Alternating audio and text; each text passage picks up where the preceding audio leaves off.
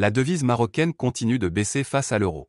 La monnaie marocaine s'est quasiment stabilisée face au dollar américain et a baissé de 0,20% face à l'euro au cours de la période allant du 16 au 22 décembre 2021.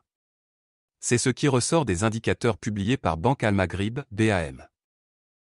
Durant cette période, aucune offre n'a été enregistrée dans le cadre des adjudications de devises, indique Banque Al-Maghrib, BAM, notant que le 17 décembre 2021, le stock des avoirs de réserve officielle s'est établi à 330,5 milliards de dirhams, soit une augmentation de 0,2% d'une semaine à l'autre et de 5,2% en glissement annuel.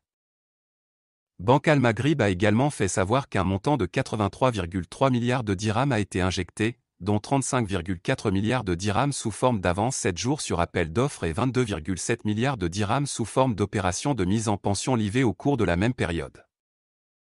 De plus, 25 milliards de dirhams et 100 millions de dirhams ont été respectivement injectés dans le cadre des programmes d'appui au financement de la TPME et dans le cadre des opérations de change.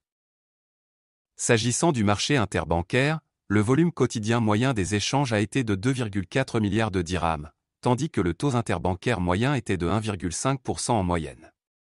Lors de l'adjudication du 22 décembre, date valeur 23 décembre, la Banque centrale a injecté 32,3 milliards de dirhams sous forme d'avance à 7 jours.